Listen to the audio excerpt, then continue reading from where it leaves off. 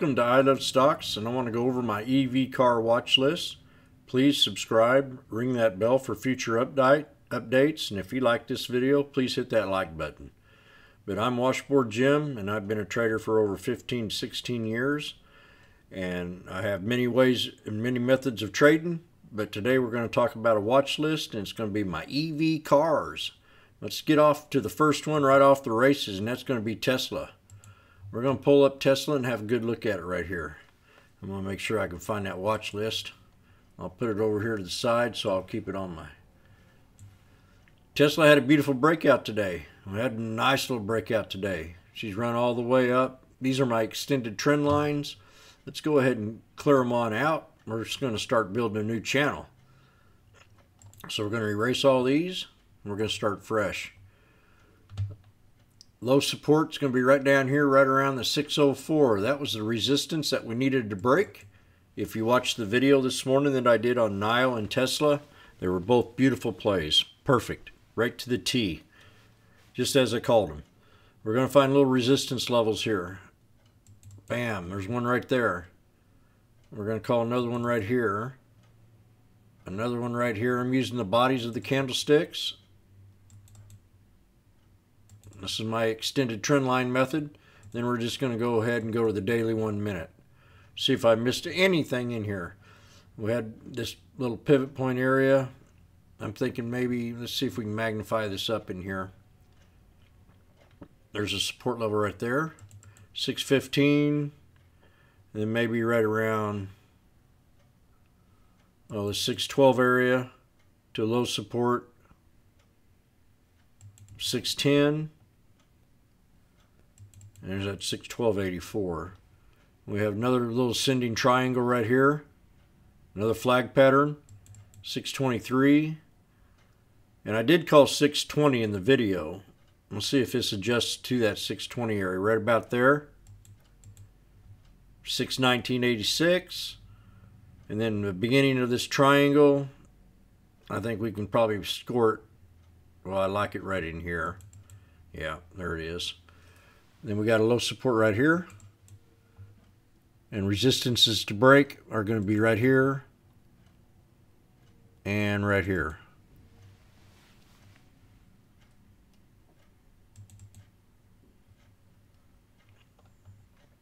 So we got low support. I'm thinking right around this 622 area.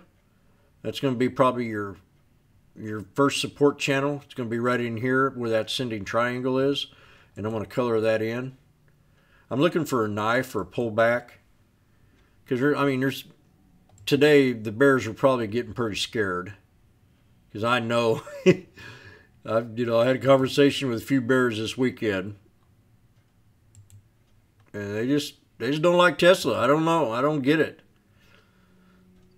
I do not get it. Tesla's just not a car company, it's a tech company. It's in not in just cars. It's it's got all kinds of other stuff going on. God darn, Jim. Focus. See, that's 20, 10 seconds wasted of my time right there. That can mean a lot in trade if you're not snappy enough. So I'm drawing these little support levels. This is a huge breakout today. If you're a good tape reader, you could tell that no matter what, you didn't have a chance. The Bears didn't have a chance with this trade. And if they did, there was places to get into the trade and make some pretty good money. That's your resistance level right there. A lot of little places in here I'm kind of getting an idea because this is going to be a whole new area. We're, we're looking for a whole new I want it to go sideways and I want to find the support level. And that support level is going to be right in here at 639.81. Why I say that, I'll tell you here in a second. I want to go ahead and mark this red. This is a very important area right here. We're catching knives. This thing going to pull back. First stop it's going to make is going to be right here at 639.81. Why? Previous high, and we've pulled back there a few times. So this area is going to be like a support channel between this bottom and this top. And I want to color that in. That's very important. I think I can hold in that channel. And if I go below that channel, it's going to start being bearish on me. So I want to go ahead. Now, you know where the pivot point in this channel is? It's going to be right here where it pulled back to that 200. Now, these are my EMA chart. This is a 200 EMA. And when I'm on a daily one minute, I use that 200 EMA as a support level. And as long as that nine's above it and, and the 34 and the 100, we're still bullish. Now, if this 9 starts to cross down, we get down below that, and we see a curve down on the 9, we can fall into this channel. channel support right now is 635.58, 637.40 with the pivot point, and then resistance, which is the first support, which is now, I think, going to be the second from this one right here at 639.81 anything below that's going to be a strong buy and then you have another channel right down in here between the 632.45 and the 633.82 now I hit my I hit my uh, 620 today and I Vegas asked me what is the next resistance? I closed my eyes I rubbed my temples I put my, my thumbs on my earlobes and I kind of just rubbed that finger that first two fingers around my temple and I come up with 650 and we hit 648.79 and that was after we broke 620 so that was a pretty good little call. It did pull back to that pivot point so that 637.40 is going to be a major area for a double bottom. When we hit this first one 639.81 637 635 and if those don't hold I'm going to be in the trade down here at 632.45 to 633.82 and run it back up to these resistance lines. That's Tesla. Let's take a couple other looks. NIO, talked about it in the video. If you want to go back and watch that previous video I did on Tesla and NIO, you'll be supercharged. This thing, I called a pullback to 4085 for the first support. I called it exactly how I expected it to trade. It did pull back. And then when I seen this position right in here, I got to thinking to myself, we hit that support level. I was telling a couple people in the room we're going to go, we're going to take off, and I think this thing's really going to break out. So let's take a look at why I said that. We hit that support level. Let me go back here a little bit to five day. That support level was right here. It was the top of this here candle right here. And that's where I called it from right there she went ahead and pulled on back. Or, excuse me, I got the wrong one there.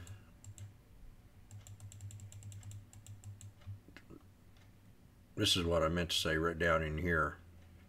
If you watch the previous video, you can see that where I had that line drawn, and we did pull right back to that line, and then she went ahead and took off and started bouncing up into my resistance channel that I was calling out in that video later on. If we broke this resistance here at 45, 43.67, we were going to go higher, and it did.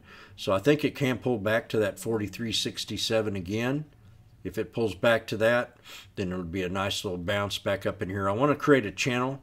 I don't want to get too crazy with it, and I don't want it to go past $48 because that, to me, is going to be overextended. I just want to build a sideways channel for it right now. Uh, Citron did bash this at one time, said it was way overpriced. The institutions are in this trade, and they're going to keep buying the dips. And that's NIO. Let's take another look at another one here, GTEC. GTEC had a very nice breakout pre-market. I mean, this thing just ran and then pulled back about 50%. So let's go ahead and kind of magnify this up on a daily one minute. We'll get a better look at it. Had a huge breakout. This was kind of hard to find support levels in it. I had to kind of magnify it up. Then I used my Fibonacci's from right here to where we had this top and I pulled it back to the bottom right here to try to find a support level for tomorrow. This is GTEC. This is a low float stock. And if you ever want to know how to find a low float stock, you can go to FinViz and you can type in the tipper, ticker right here, GTEC, and then you can go right and it'll show you exactly the float size of 1.3 million.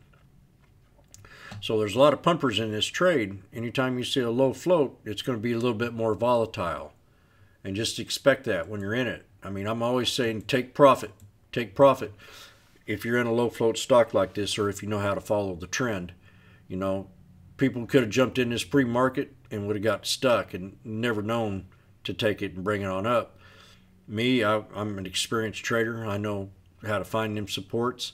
We did pull back to that support again that's a double bottom.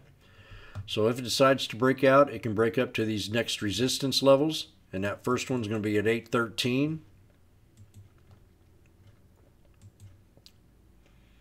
Let's make it 810. Right around there. If it pulls back, it can pull back to 637.50. 637 to 655 and that'll be your low support. That's a 50% retracement from the double bottom here. And then you have your other three supports right there 682, 719, and then that 777's got a hold. That's your double bottom. It could go ahead and have a double bottom break and go up to resistance level of around 9 bucks. And that's going to be GTEC low float 1.2. If it knives, it can retrace back up to this resistance level. Let's see if we got any other in here. We got Blink. Blink had a good day. Blink had a real good day. Let's pull up to 20. This one got bashed by Cramer. It pulled back to about this support level right here, right around the $20 area. And then she's retraced back up to 27. So this $20 is going to be like our little solid support. If it does pull back to that, we can get back in the trade for sure. I want to put a 3 on there because I want it to be big. I want to know, I want to have a reason why I want to get into this trade. So that's going to be your low support. I think your first one's going to be right around in this area where this ascending triangle is. And that's going to be right here at, I'm going to put a red line on it too. We're in a very volatile time right now. This is at 24.16. I want to see that's your third support. Your second one's going to be 2536, and that first one's going to be at 2612.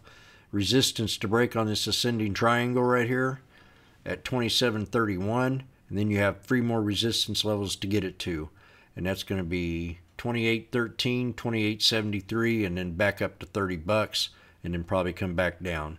But I want to see it go sideways for a while. I think we're just overextended, and if we go sideways, it's still healthy to me it's still healthy to me. If it starts dipping below the pivot point of 2143, I'm going to get a little concerned. That's going to be blink. So let's look at a few more we got on here. Talked about blink already. Workhorse. Let's talk about Kandi.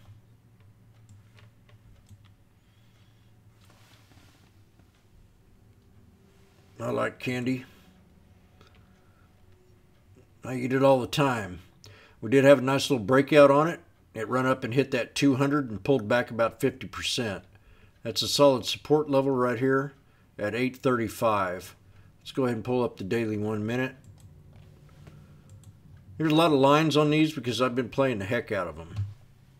And they're just, it's my hottest watch list right now next to the marijuana sector marijuana sector had a little pullback too today. maybe a, do another video on it. But we got a solid support here for a double bottom at 839.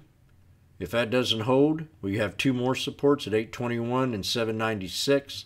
Resistance to break is going to be that 903, 931, then maybe up in here right around the 948 area. And we could get up here to the nice little top to maybe 967. We break past 10, we're going to have new highs. Kandi.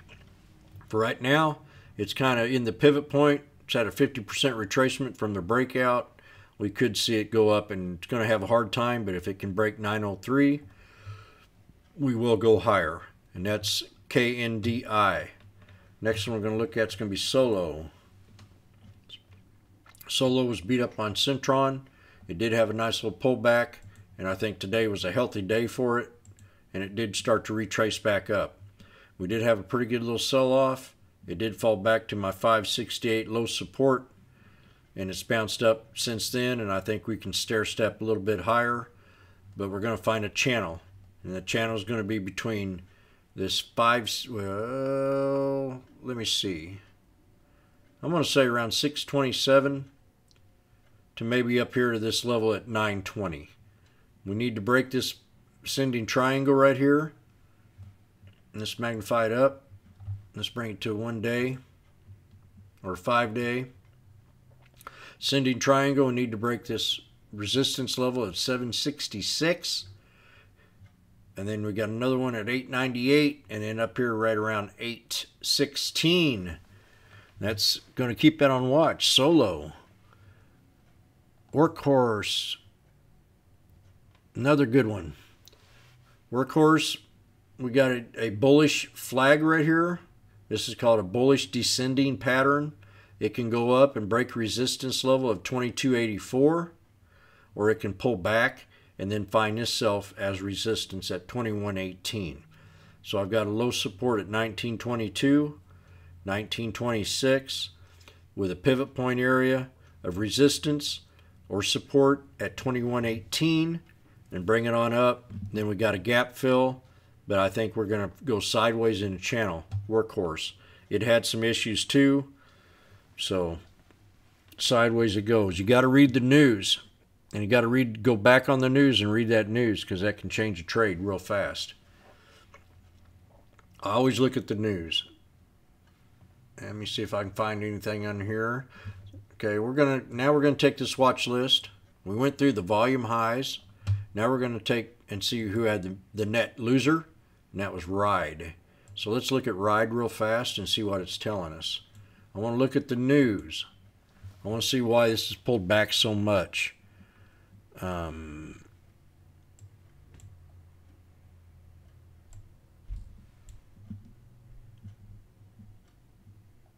okay, to provide hydrogen. Some motor GM to hydrogen. Oh, GM's really going to be a good one for me too. Might talk about it a little bit. Register statement declared effective. Lordstown announces an S1 registration statement.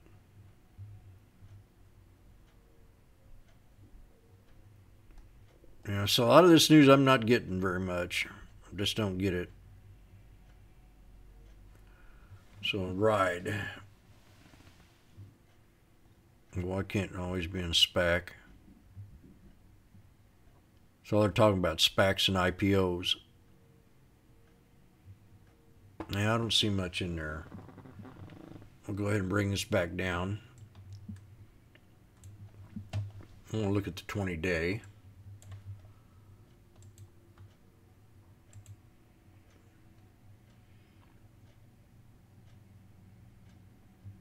Try and find right there. Okay, got three support levels. That one right here.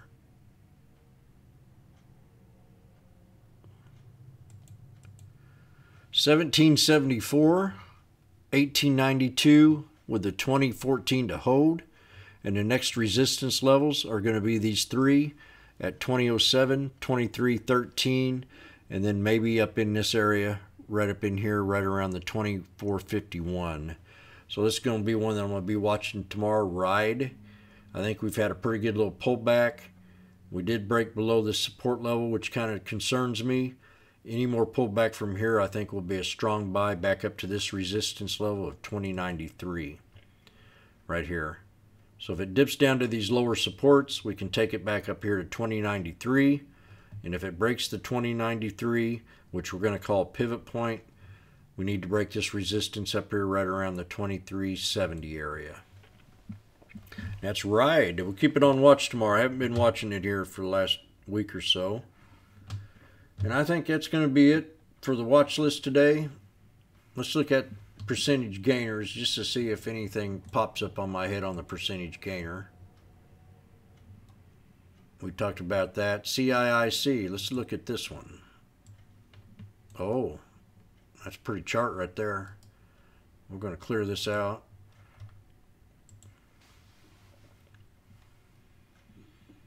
Got a support level right here, right here where these tops are on the 20 day. I'm going to go ahead and draw that in right there. We got another one right here.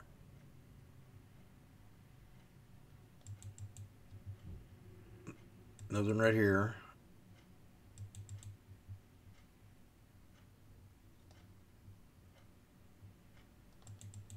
Another one right there. Support level is going to be right about here.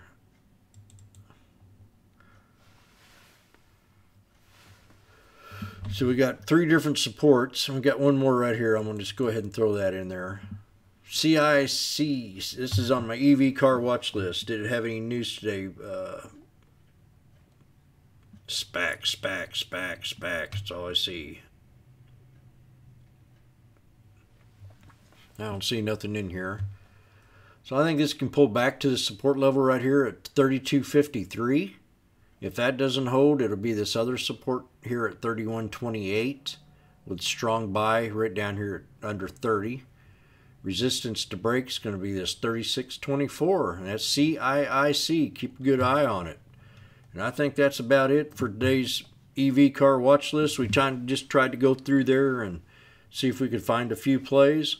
You know my major one that I'm always hot on. It's my number one play of all stocks, and that's Tesla. I've always been bullish on that. I've never stopped being bullish on that. I've been bullish on that stock for about five years, and I don't think I'll ever stop. And um, NIO comes in second place. I'm not as respectful to NIO as I am Tesla, because NIO's still mixing around with China, and and they don't have their own factory. They're renting out a factory. To me, it's just a speculative trade, but there's a lot of insiders and a lot of institutions are in that trade, and it's going to always be bullish on the dips. On the dips, I don't think it's going to be like a Tesla at all. Maybe get to 100, 120 long, but for right now, we're going to barely going to be hard enough to try to get past 50. That's going to be NIO. Well, that's it for the market report. I'll go ahead and I'll put this link down here of the watch list. It'll be under the comments section. It'll be a script from TOS. It's nice to have. Always use the percentage. I always use the volume high.